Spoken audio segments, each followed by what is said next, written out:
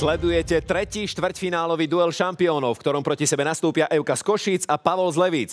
Ako pravidelne krátko na úvod predstavíme dnešných aktérov. Eva z Košíc sa venuje prekladom odborných textov a je vyštudovaná teoretická biologička so špecializáciou na biologicky motivované optimalizačné genetické algoritmy.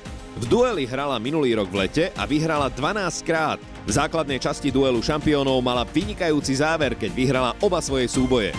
Pavol z Levíc je učiteľ, v dueli zažiaril na jeseň v roku 2019, keď sa mu podarilo vyhrať rovnako ako Eve 12 krát za sebou. V základnej časti mal veľmi vysoké číslo správnych odpovedí, je jedným z troch hráčov, ktorého pomer správnych odpovedí presiahol 71% hranicu. Súťažiaci nastupujú vo vyraďovacej časti proti sebe podľa toho, ako skončili v tabuľke šampiónov po základnej časti, čiže po 21 dueloch, ktorých súťažili každý s každým. Výťaz postúpil priamo do semifinále a zostávajúcich 6 hráčov hrá štvrtfinále systémom druhý proti 7, tretí proti 6 a štvrtý proti 5. Dnes teda posledné tretie štvrtfinále Pavol proti Eve. Z hodou okolností táto dvojica otvárala základnú časť duelu šampiónov a vtedy mala po tesnom súboji navrh Euka. Kto vyhra dnes, kto postúpi, o tom rozhodne štvrťfinálový dvojduel, v ktorom sa hrá na odvetu a každý z hráčov si vyskúša pozíciu súťažiaceho číslo 1. Ak sa podarí každému vyhrať jeden duel, o postupe rozhodne súčet nahratých peňazí v oboch častiach a ak by aj ten mal byť rovnaký, ďalším faktorom je počet správnych odpovedí. Teraz sa poďme pozrieť na fanúšikov našich duelov duelantov. Euku dnes prišli podporiť jej sestra Katka. Ahoj. Ahoj. Katka, s kým si prišla ty? Prišla som so synom Tomášom. Tomáš, Ahoj. vítaj. Na druhej strane Pala prišli podporiť jeho manželka Melinda. Ahoj. Ahoj. A ty si so sebou koho zobrala? Tiež syna Patrika. No a rovno by som sa opýtal na silné a slabé stránky, ak by ste mohli prezradiť, napríklad Eukine.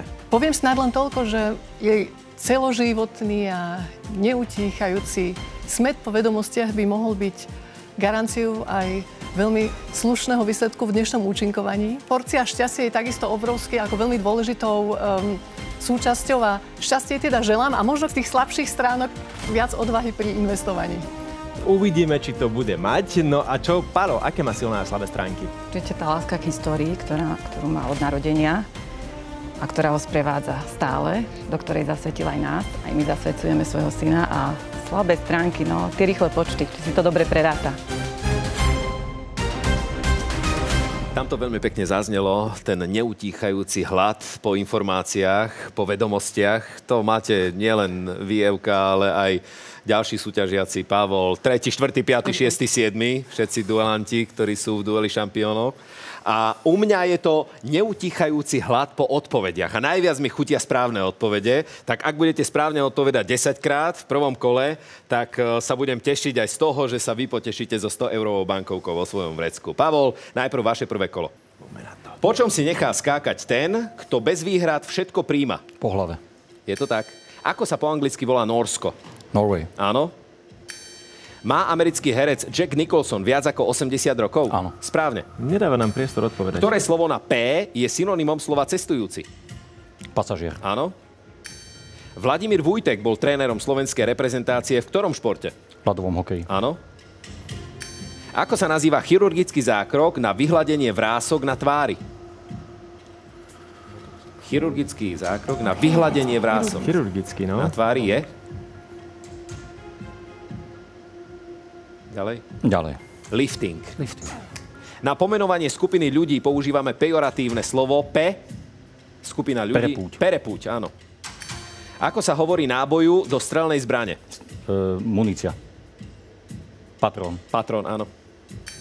V ktorom roku sa rozpadlo Rakúsko-Uhorsko? 1918. Áno. Ako sa nazýva okrúhly stan niektorých azijských kočovníkov? Jurta. Tak. Stihli? Stihli sme to. Áno, ešte. Ja som si myslel, že perepúť nebude správna odpoveď, alebo možno tam bude zaváhanie, ale nakoniec lifting. Ale tak nerobíte si. Nie. Zatiaľ. Ani neplánujem. Ani neplánujete. Evka, vašich 10 otázok, ideme na ne. Držím palce. Ďakujem. Ako sa nazýva výtvarné zobrazenie zo skupených predmetov? Zatišie. Áno. V ktorom roku zautočili japonské jednotky na prístav Pearl Harbor? 1941. Výborne. Ako sa nazýva masívna kovová nádoba na tlčenie niečoho? Mažiar. Áno. Vymyslená novinárska správa sa nazýva novinárska... Kačica. Kačica. Ktoré slovo je synonymom slova interný? Vnútorný? Áno. Z akého ovocia sa vyrába barackovica? Z marbuľ. Áno. Z baraciek. Ako potravinový doplnok sa predáva ľanový... Čo? Olej. Olej, áno. Preložte do slovenčiny české slovo krajka. Čipka. Áno. Na pomenovanie krmnej alebo cukrovej repy sa používa slovo pochádzajúce z Nemčiny B. B. Brukva? Ďalej. Burgiňa. Burgiňa, dobre. Áno. Časťou ktorej modlitby sú slova príď kráľovstvo tvoje? Otče náš. Burgiňa. Brukev je ešte štiny, no. No. Čo hovoria fanúšikovia? Výborné prvé kolo. Výborné prvé kolo, áno. Sa. Čo si povedala pred chvíľou, že aspoň, je to... Aspoň je to vyrovnané, aspoň, Aspoň je to začínate vyrovnané. rovnako. A vyrovnané by mohlo byť možno aj čelo, vrázky. E, Nepôjdeš teda s Nie, manželom na ten určite lifting? ani ja, ani on. Po prvom kole 270 eur, 270 eur. Držím palce. Držíme palce. V druhom kole 10 tém, 10 otázok, sami pre seba si ich vyberáte, od 20 po 100 eur dávate sumy na tieto témy. Ak náhodou sa pomýlite, neodpoviete, super, má šancu hrať o vaše peniaze. Tu sú témy druhého súťažného kola. Čo je to? Futbalové ocenenia, muž a žena, slova z techniky, riaditeľia, slovenská kuchyňa, Marfiho zákony, divadelný muzikál, mosty a pre rýchlych počtárov. Tak dáme si mosty za 100. V ktorom slovenskom meste sa nachádza most na fotografii a aký je jeho názov? Je to Štúrovo a most Márie Valérie. Je to tak, áno, to je správna odpoveď. Postavený ešte v 19. storočí, na konci 19. storočia. Potom ho Nemci vyhodili do povetria na, počas vojny, keď e, ustupovali z nášho územia. A znovu postavili ho, alebo rekonštruovali ho v roku 2001. Len naopak, oni ustupovali z Ostrihomu do Štúrova a vtedy ho vyhodili. Tak, tak. Kto iný by ma mal opraviť, ak nie historik? Nedalo mi. Dobre, dobre, výborne. Ešte dobre, že vás tu máme. Evka, váš prvý výber v druhom kole. Poprosím pre rýchlych počtárov a skúsim za 100. A v tomto si verí, Euka, hej? Za prerezanie dosky na polovicu zaplatím 20 centov. Koľko stojí prerezanie dosky na 4 diely? 60 centov. To bolo veľmi rýchle. 60 centov je správna odpoveď. 370, 370. Taký špeciálny procesor Mhm, že na počty, hej? na počty, na také rýchle reakcie. Tá reakčná rýchlosť je neuveriteľná. Opäť Pavol na ťahu.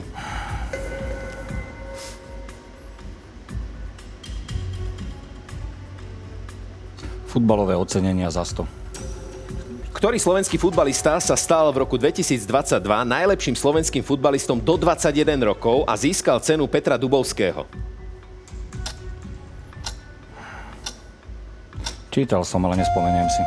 Euka, Ja som ani nečítala. bol by som prekvapený, keby vy ste zo seba dali tú správnu odpoveď, no ale správnu odpoveď si vypočujeme z úst práve najlepšieho slovenského futbalistu do 21 rokov. Zdravím šampiónov z duelu. Tak správna odpoveď je moje meno Tomáš Suslov. Tak nech sa vám darí a nech vyhra ten najlepší. Ďakujeme veľmi pekne, Tomáš. Áno. Takže Tomás Suslov. 270, 370. Euka? Poprosím slovenskú kuchyňu za 80. Kuchárka je dobrá? Skôr experimentuje než Z klasicky. ktorej hlavnej súroviny, okrem zemiakov a tekutých prísad, sa pripravuje tradičná fučka? Soľ?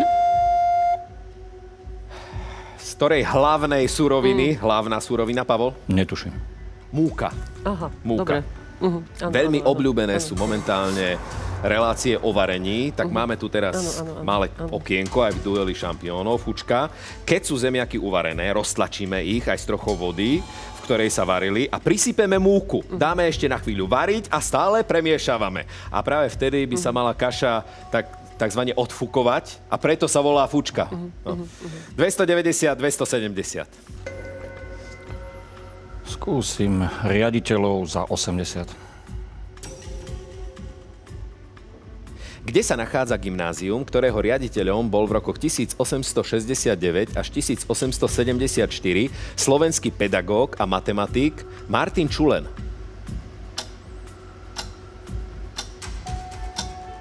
Kežmarku. Kežmarok nie je správna odpoveď. Evka, budete odpovedať? Typujem Martin. Ani Martin nie je správna odpoveď. Kláštor pod Znievom, jasné. No. Okrem svojich publicistických aktivít bol aj autorom dvoch matematických učebníc. Uh-huh. Martin Čulen. 210, 190. Ale vyrovnaný je to stále Tesné súboj. je to, tesné vyrovnané. Eva si vyberá. A vyberám si muža a ženu za 80. Podľa monocentrickej teórie pôvodu človeka je spoločným predkom všetkých dnes žijúcich ľudí žena, ktorej mitochondriálna DNA sa rozšírila medzi celú súčasnú civilizáciu. Pre pomenovanie tejto ženy sa používa dvojslovný názov mitochondriálna Eva, tešilo ma. Áno. Tak nie ste to vy, ale ste potomkom. Áno. No. Potomkom. Ženský protipol Adam chromozómu Y. To sme my zase. No. Viacerí. Predpokladá sa, že mitochondriálna Eva žila približne pred 140 tisíc rokmi, ako tu mám uvedené. 290, 190. Pavol,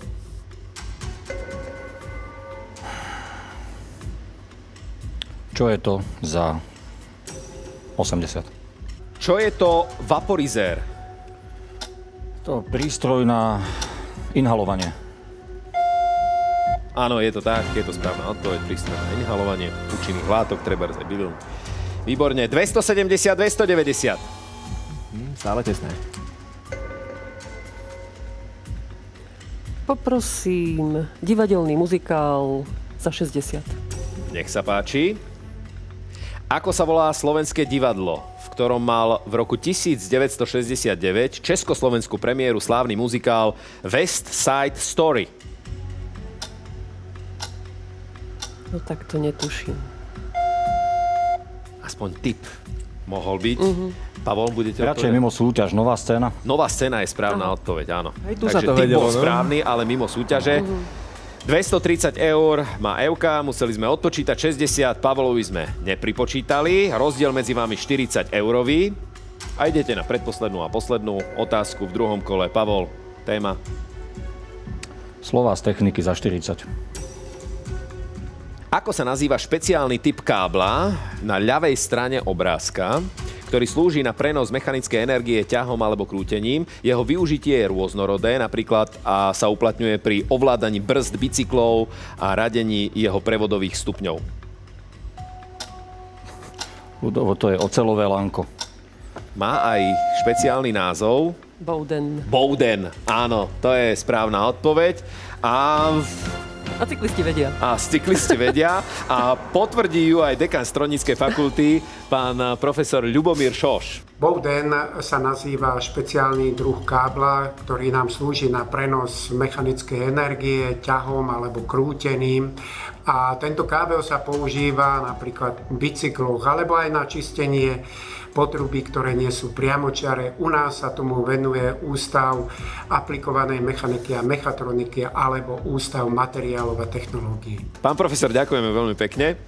No a je tu posledná téma, posledná otázka v druhom súťažnom kole. Euka, za koľko Marfieho zákony? Tak za 40. Za 40 eur.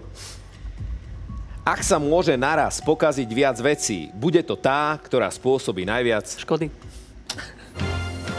Je to tak. No. Najviac škody, to je správna odpoveď. Po dvoch kolách zatiaľ hráte takto. Pavol 230 eur, Eva 310 eur. Spokojný? Gratulujeme. Dobrý si, ale mohol si si zobrať tie Murphyho zákony, ich tam doma v knižnici. Ale ja by som sa opýtal, Tomáš, čo by si možno ešte Euke odkázal do tretieho kola? Vyzerá to veľmi sľubne, ale e, čo som si všimol už aj v predošlých dueloch, že Euka rada e, rozmýšľa nad e, komplexnými odpovediami, takže trošku zjednodušiť Myslenie, myšlienkové myslím. pochody. Zjednodušiť myslenie. Zjednodušiť si život, áno. Zjednodušiť si život. Mafio zákony máte kde v tej knižnici? Máme ich. Máme ich, ale nie toľko, toľko veľa, že som si netrúfol. Netrúfol, no. Dobre, po druhom kole ide tretie, aj keď nie rozhodujúce. Veľmi vyrovnaný duel šampiónov, toto štvrťfinále zatiaľ. 11-13, čo sa týka počtu správnych odpovedí a 4-4. To sú nesprávne odpovede. Na jednej, na druhej strane. V tomto treťom kole klasika. 10 tém, 10 otázok. Vyberáte si témy jeden pre druhého. Vkladať môžete 20 až 350 eur. A tu sú témy. Slovenskí herci, prvý, prvá, prvé, hudba 90. rokov, z gréckej mytológie, čísla, turistické atrakcie, stalo sa v roku 1969, čo je to za zviera, vitamíny a desiatá téma Národné parky. Pavol, vyberajte. Čísla. Tak za 100. Čísla, to by mohlo byť, hej. Ako sa nazýva iracionálne číslo s mnohými zaujímavými vlastnosťami a rovná sa približne 1,61834? Geometrické tvary odvodené od tohto čísla sa považujú za esteticky veľmi príťažlivé a mnohé geometrické proporcie v prírode majú blízko k tomuto číslu. Tomuto číslu sa hovorí zlatý res. Niekedy aj božský res. Alebo zlatý podiel. Je to tak, správna odpoveď. Zlatý res 410, 230. Eva vyberá prvú tému pre Pavla. Ten 69. mi možno posunie. Slovenskí herci, nech sa páči. Za 100.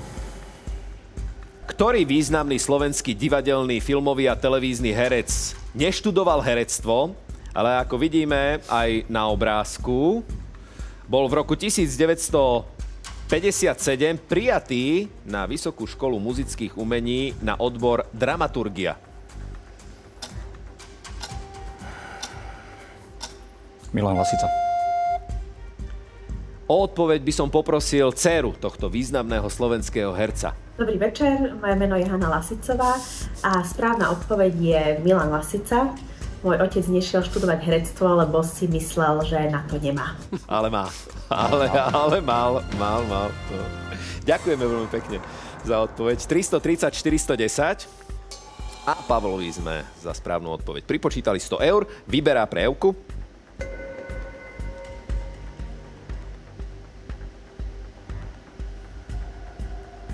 Stalo sa v roku 1969. 80. Nenechal si.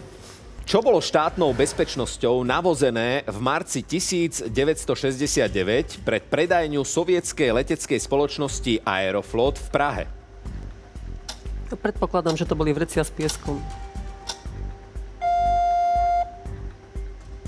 Poprosím video odpoveď. Správna odpoveď je dlažobné kocky. Nimi potom nastrčení agenti rozbili výklad leteckej spoločnosti Aeroflot. Tak ďakujem veľmi pekne za odpoveď Tomášovi Černákovi, historikovi z Filozofickej fakulty Univerzity Komenského. Dlažobné kocky. Dlažobné kocky. To bola správna odpoveď. No. Prvý raz sa sklená výplň stala terčom demonstrantov pri pohrebe Jana Palacha a to bola možno inšpirácia. 330, 330. Hm. Remíza. Pokračujeme ďalej. Evka vyberá, Pavol čaká.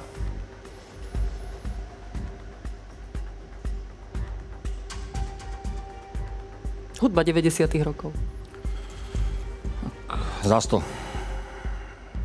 Uvedte aspoň troch interpretov z týchto piatich albumov. Jagged Little Pill, Achtung Baby, Automatic for the People, Valec, Cez okno. Narýchlo YouTube, R.E.M., Jaro Filip. Je to tak, áno, Achtung Baby, U2, Automatic for the People, R.E.M., R.E.M., áno, Cez okno, Jaro Filip, Valec, IMT Smile Áno. a Jagged Little Pill, Alanis Morissette. A, tak to by som si nespomenul. 330, 430. Ale spomenuli ste si na tie, ktoré sme od vás chceli. Stovka pripočítaná, Pavol má 430 a vyberá pre Evu.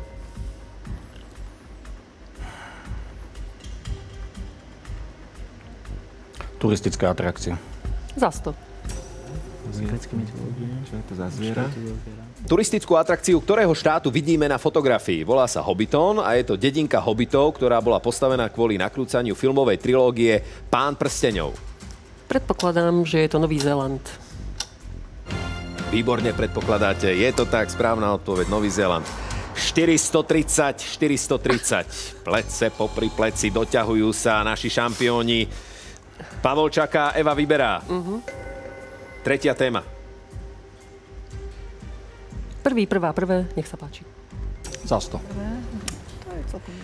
Ako sa volal prvý Európan, MB, iniciálky, ktorý sa plavil v severnom Tichom oceáne ešte 7 rokov pred Jamesom Cookom.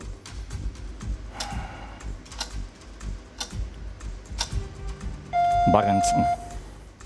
Euka by vedela. Dobrodruh, cestovateľ, objaviteľ, kráľ Madagaskaru. Plukovník francúzskej armády, veliteľ polskej armády. Moritz Beňovský. 330-430. Pavol, predposledná téma prejevu.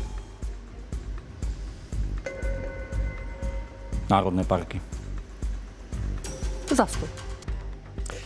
Na fotografii vidíme Grand Prismatic Spring, najväčší termálny prameň v Spojených štátoch amerických a tretí najväčší na svete. Ako sa volá národný park, v ktorom sa nachádza, ten je najstarší na svete. Je to Yellowstoneský národný park. Yellowstone je správna odpoveď, áno, založený ešte v druhej polovici 19. storočia. 530, 330. Predposledná téma pre Pavla. Eva, Z gréckej mytológie. koľko? 350. Poď. 350, nerozmýšľaj. 200. Ale A s otázkou súvisí opäť obrázok, na ktorom vidíme sochu Heraklesa, Herakla, ako bojuje s mýtickým netvorom. Ako sa táto bytosť volá? Bola súčasťou druhej z 12 úloh, ktoré musel tento najväčší hrdina gréckej mytológie splniť. Je to Hydra. Hydra je správna odpoveď, áno. A stal vyrovnaný. Hú. 530, 530. Rozhodnú posledné odpovede. A pri rovnosti sum, ktoré nahráte, bude rozhodovať, kto získa peniaze. Počet správnych odpovedí. Takže posledný výber, Pavol, je na vás. Vitamíny. 350. Za 350 Fúha. vitamíny. Kyselina nikotínová a nikotín amid tvoria jeden z vitamínov skupiny B, ktorý poznáme pod názvom N.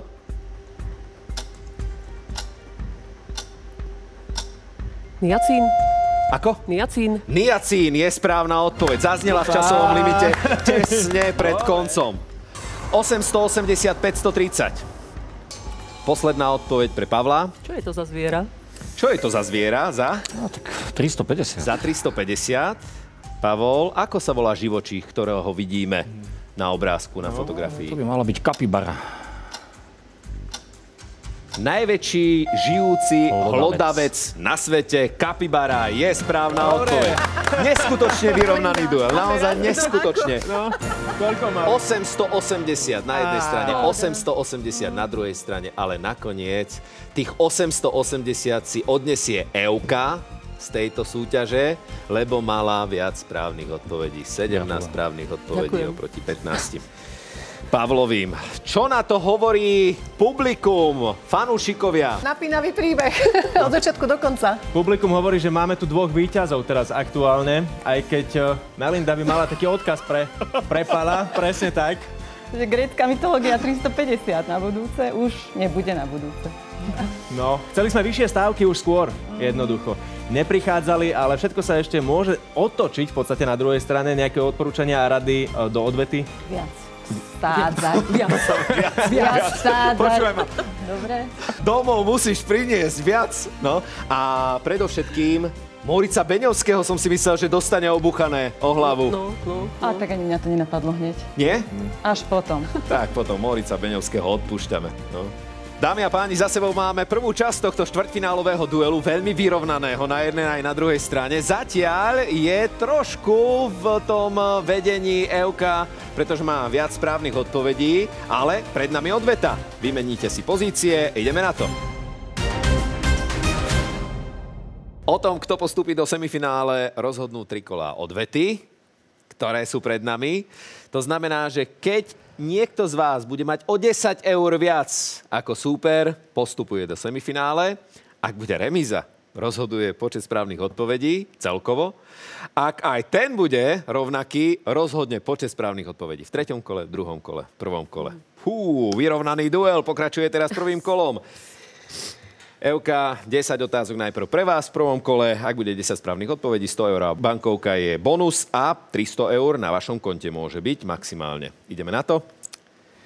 Držím palce. Čo znamená anglické slovo quick? Rýchly. Áno. Ako sa nazýva súsošie Panny Márie s mŕtvým Ježišom v náručí? Pieta. Áno. Ako sa nazýva víno, ktoré sa získava s kvasením ríže?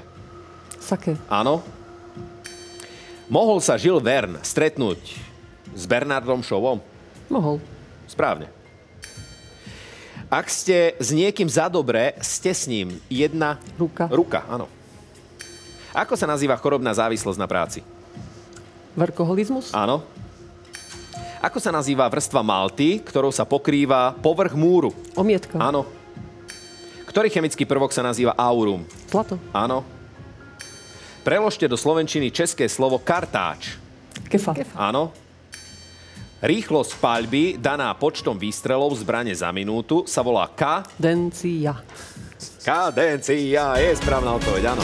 100 eurová bankovka už v rukách, áno, v ruke Evy. Takže 100% prvé kolo. Rovnako držím palce aj Pavlovi. 10 otázok prvého kola. Štartuje práve teraz. Ideme na ne. Iberovia obývali Apenický alebo Pirenejský polostrov? Pirenejský. Výborne. Polnoc je hodina D. Duchov. Áno. Jedna z dopravných značiek sa volá zúžená V. Vozovka. Áno.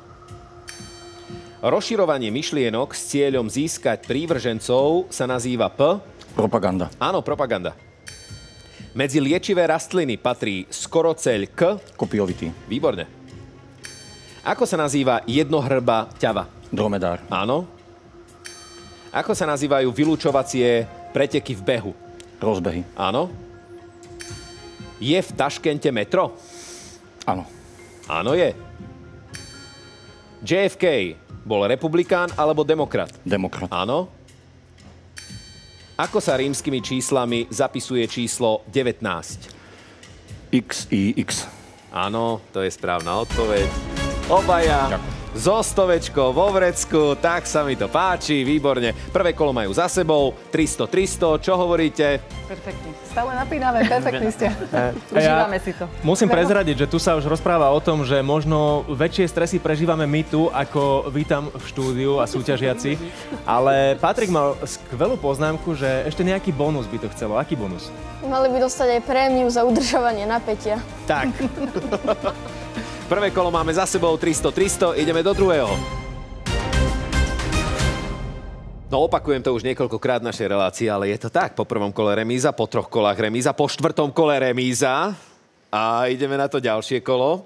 V tomto druhom kole v odvete, v odvetnom dueli na vás čaká 10 tém, 10 otázok. Vyberáte si témy sami pre seba, vkladať môžete o 20 po 100 eur. Ak sa super pomýli, neodpovie, hráte o jeho peniaze. Môžete, nemusíte túto príležitosť využiť. Tu sú témy. Štáty, anglosaské miery a váhy, texty piesní, obu, rozhlas, pomôcky, hudobné nástroje, filmová gastronómia, zdrobneniny v živočíšnej ríši a tajný, tajná, tajné. Tak začnem s drobneninami v živočíšnej ríši za 80. Dlhočiznými tykadlami je nápadný chrobák s menom V. Borovicový, ktorého vidíte aj na obrázku. Vrtáčik.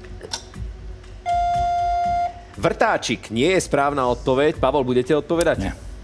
On sa vrtá, áno, často. Lesníci ho nemajú radi. Vrzúnik sa volá. Vrzúnik borovicový. Volajú ho aj sibirský drevorubač, lebo je rozšírený až na Sibír. 300, 220. Pavol, Tajný, tajná, tajné za 100. Tak. Ktorý predmet používali už Spartania v starovekom Grécku na použitie šifry s názvom Skytále? Rukoveď meča. Euka, budete odpovedať? Nie, nebudem. Ten predmet bol valec. Mhm. Áno, konkrétne valec. Musel mať presne špecifickú veľkosť, rozmery, pretože skytále bol pásik, na ktorom boli e, napísané slabi, hlásky teda. A keď sa omotal okolo toho valca, A keď bol ten valec správnej veľkosti, tak prakticky tie hlásky dali slovo a to bola tá šifra. 200, 220. Euka. Poprosím hudobné nástroje za 80.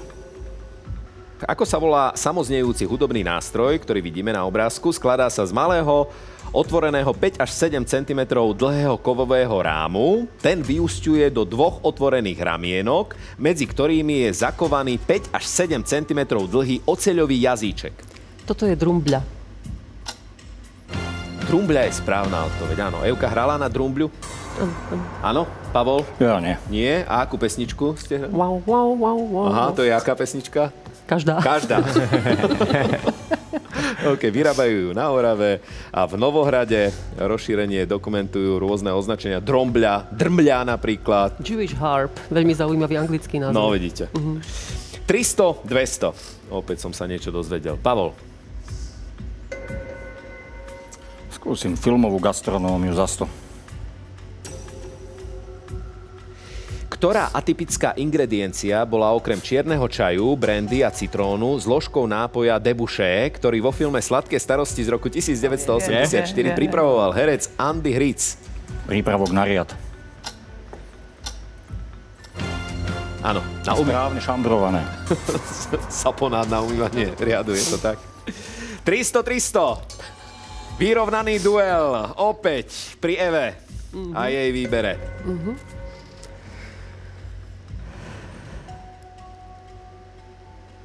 Poprosím texty piesní za 60. Ako sa volá slovenský hit, v úvode ktorého zaznie ľudová pieseň s textom Do dvorečka do dvora, smutný mesiac pozerá.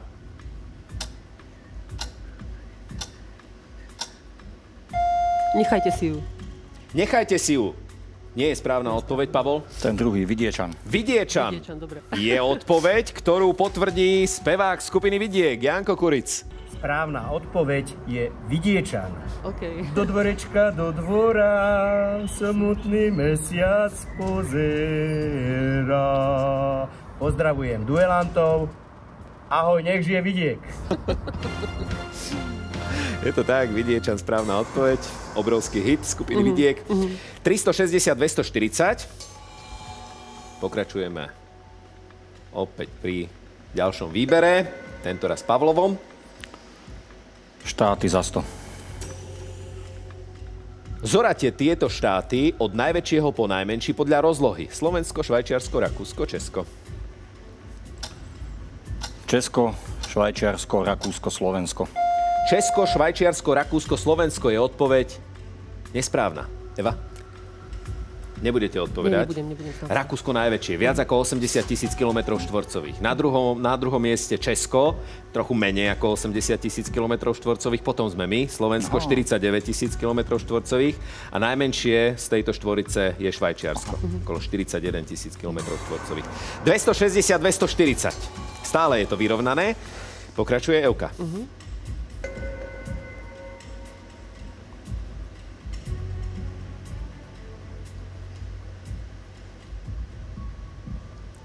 Poprosím obuv za 60. Obuv, ktorú nosia Japonci, a vidíme ju aj na fotografii, sa volá G. Ginza? Nie. Neviem. Pavol vie? Nie. Nedoučil sa tie názvy obuvy od predchádzajúceho duelu. Geta. Geta. Geta.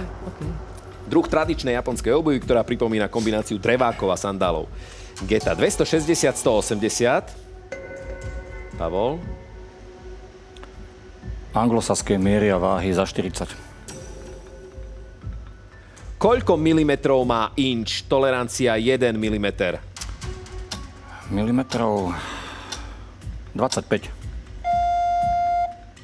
25 je správna odpoveď, áno. Približne 2,5 cm. Je to tak, 25. 25,4 desatiny mm. 300, 180. Euka, rozhlas alebo pomôcky? Fú. Tak skúsim pomôcky za 40. Pomôžu pomôcky. Snáď. Pod akým názvom poznáme skupinu prvkov, na zapamätanie ktorých slúži mnemotechnická pomôcka Fero, chlípe, brom i astát? Sú to halogény. Ja poznám inú mnemotechnickú pomôcku. Frantac slov mal bratrem ako atlet. Áno, tak o, o tejto mnemotechnickej pomôcke určite vie aj pán profesor Pavel Alexi uh-huh. a teraz nám o tom porozpráva. Zdravím šampiónov. Pod touto mnemotechnickou pomockou sa skrývajú prvky fluor, chlor, brom, jod a astát, ktoré spoločne nazývame halogény. Tento názov vznikol spojením slov hals a genao, teda z greštiny sol a tvorím, čiže solotvorné prvky. Krásnym príkladom takejto zlúčeniny, ktorú tvorí jeden z halogénov, je kuchynská sol, čiže chlorid sodný. Ďakujeme veľmi pekne. Pavel Alexi, špičkový slovenský chemik a vynálezca 100% prírodného slovenského bioplastu. 220-300. Pavel, posledná téma, rozhlas za? Za 40. Frekvenčné rozpetie pásma veľmi krátkých vln, tzv. západnej normy v megahercoch, ktoré používame aj na Slovensku, je od 87,5 MHz do koľko? MHz. Len typnem. 105. Nie je to správna odpoveď. 108. 108 je správna odpoveď, áno. 106,6 mali niekto, Aha. dokonca 107,6 má jedno rádio u nás na Slovensku a do 108. To je správna odpoveď, Evka. Výborne. Takto hráte zatiaľ po dvoch kolách. No. Neverím.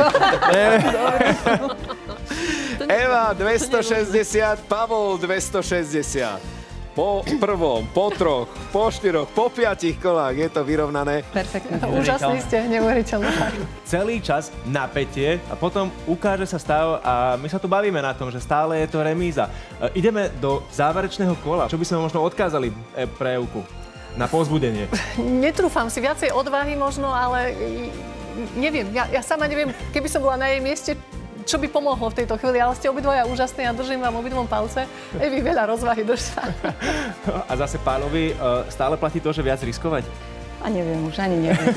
už si sami nie sme istí teraz. Už radšej ani nič nepoviem. No, naozaj, vychutnajte si to. Je tu finále, úplný záver tretieho štvrtfinále duelu šampiónov, ktoré rozhodne o tom, kto z týchto dvoch skvelých hráčov postúpi do semifinále. Nielen, že stav je vyrovnaný u našich dvoch hráčov, štvrťfinalistov, ale aj počet správnych odpovedí. 13 na jednej strane, 13 na druhej strane. Aj počet nesprávnych odpovedí je rovnaký. 3 nesprávne, 3 nesprávne. Ale stále je v miernom náskoku, keď spočítame všetky tie správne a nesprávne odpovede, Euka, lebo má o dve správne odpovede z toho prvého duelu na svojom konte navyše. Uvidíme, čo s tým všetkým urobí 5 posledných vašich odpovedí v treťom kole. 10 tém, 10 otázok. Vyberáte si témy jeden pre druhého. Z týchto desiatich tak môžete urobiť. Anagram, pojmy z biológie. V otázke je boh, písmo, látky a tkaniny, hraničné priechody, obrazy a ich autory, rudy a nerasty, ostrovia a súostrovia, menové jednotky. Tak ako prvé, nech sa páči hraničné priechody. Za 100.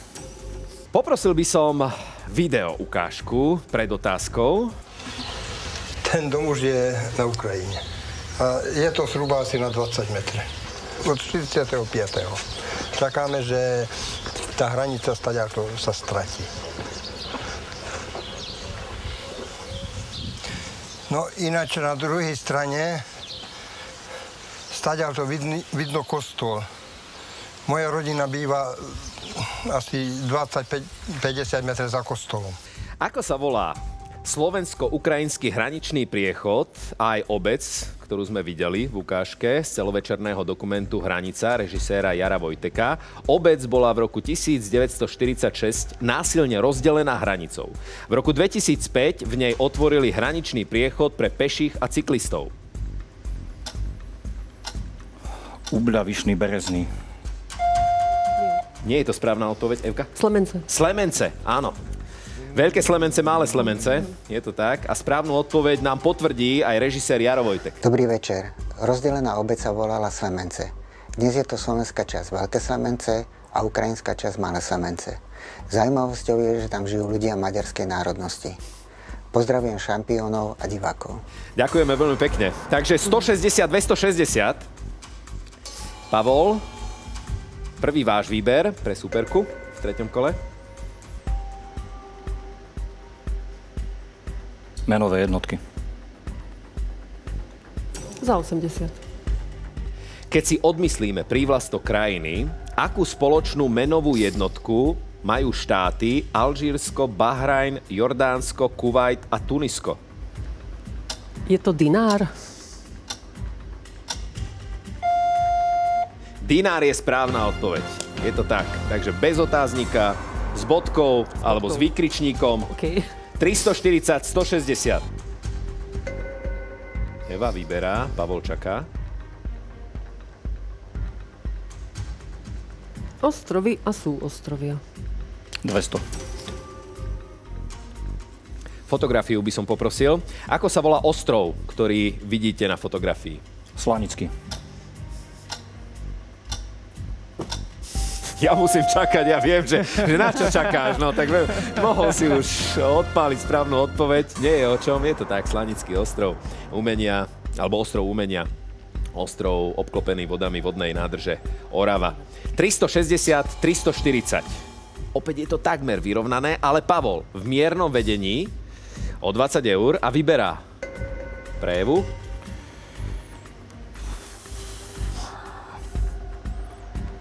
Rudy a nerasty. Za 100. Sfalerit je sulfit aký? Zinočnatý. Áno. Máme ako ryba vo vode. Sulfit zinočnatý je správna odpoveď. 440, 360.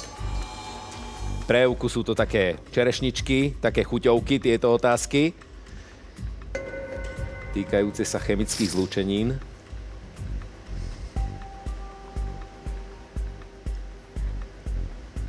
Látky a tkaniny. Látky a tkaniny. Za 100. Názov ktorej jemnej polopriesvitnej tkaniny sa začína na mu? Mušelín. Evka by odpovedala. Mušelín je jedna z možností, prípadne... Mm, Ale môžeme mu to uznať, Ale nie? Dobre, Ďakujem. Tak, uznávame ma. Dobre. Mušelín je správna odpoveď. 460, 440. Pavol, opäť vyberajte. Anagram. za 100. Preskupením hlások v slove reklama utvorte názov ryby. Makrela. Áno. To bola asi najrychlejšia odpoveď, ktorú sme mali pri téme anagram. Naozaj. Buď to bol rekord, alebo jedna z najrychlejších odpovedí za celú 14-ročnú históriu relácie Duel. 540, 460. Rozhodnú posledné vaše odpovede, predposledná a posledná. Predposledná téma pre Pavla. Eva. Mhm. Písmo. 200. Dobrá téma, nie? Fotografiu uvidíte a pýtame sa, ako sa volá písmo, ktoré vidíte na obrázku. Hlaholika.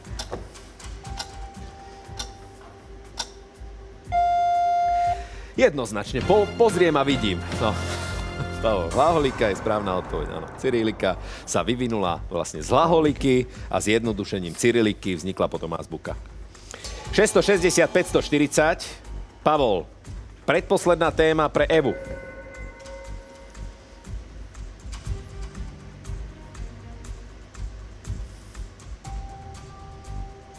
Pojmy z biológie. 350. Uj. Biológia, no. Ktoré oddelenie výtrusných cievnatých rastlín s latinským názvom Bryophyta Machy, chýba v zozname? Riniorasty, plavúňorasty, prasličkorasty, sladičorasty a Machorasty.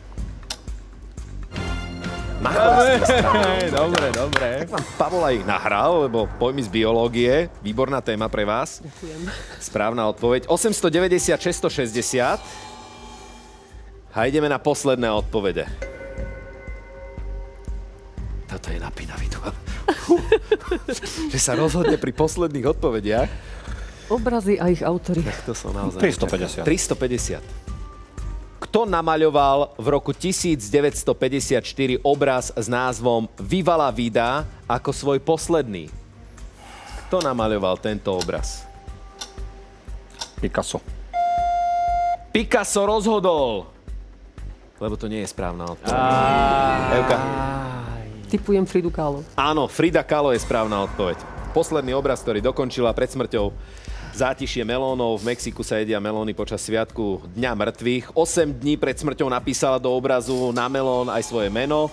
Vivala vida, oslávme život, alebo slávme život a rok svojej smrti. Frida Kahlo, 310, 890, posledná téma, Euka, ktorá vám zostala. V otázke je Boh, za koľko? Za sto. Za stovku. Ktorý prírodný jav je podľa židovsko-kresťanských tradícií označovaný ako zmluva s Bohom? Podľa tejto zmluvy už Boh nemôže povodňou zničiť svet. Je to dúha po búrke. Dúha je odpoveď správna a potvrdí ju aj rímsko-katolícky kňaz Ján Sucháň. Všetkých vás pozdravujem v štúdiu. Odpoveď na dnešnú otázku je dúha, ktorá bola symbolom zmluvy medzi nebom a zemou, pretože ľudia sa prehrešili proti nebu a práve Noem bol symbolom toho, že Boh s ním uzavrel novú zmluvu, aby človek mal úctu k životu a k všetkému živému. A ja by som to preniesol na dnešnú našu dobu, aby sme aj my sa snažili byť hospodármi z nám zverených darov, aby sme mysleli nielen na seba, ale aj na budúcnosť. Ďakujem. Ďakujeme veľmi pekne. Krásne slova aj na záver tohto duelu. Eh, pozrime sa aj na stav, aký je po tomto treťom kole. Eva 990 eur, 18 správnych a 3 nesprávne odpovede a Pavol nakoniec 310 eur, 16 správnych, 5 nesprávnych, čo na to hovoria fanúšikovia? Tu už sa gratuluje, už sa tu rozdávajú a teda podávajú ruky, ale ja by som tiež využil túto možnosť na slova na záver. Uh, začnem tebou, Melinda, čo by si chcela povedať takto po súťaži manželovi? Mm, ľubíme ťa stále, žiadne porazenecké nálady. Aj ja si sypem popol na hlavu, tiež by ma tá Frida nenapadla, keďže není to moja nejaká favoritka a aj tak si na šampión. No a ideme aj na druhú stranu, k víťazovi, k Euke. Katka, čo by si odkázala Euke? No, úžasný súboj to bol a chcem vám obidvom zagratulovať, Pavel. Ja som v úvode povedala, že táto súťaž je aj ob- o obrovskej porcii šťastia. Tentokrát sa usmialo to šťastie na Evku, čomu sa veľmi teším. Pavel, gratulujem a Evka, teším sa z tvojho postupu. Neplač, Veľmi moja. sme ti tu fandili všetci. Tomáš? A ja gratulujem obom. Eh, Pavel, veľký rešpekt eh, a Euka dala si to s obrovským rozhľadom. Gratulujem. A ďakujeme za to napínavé súťaženie.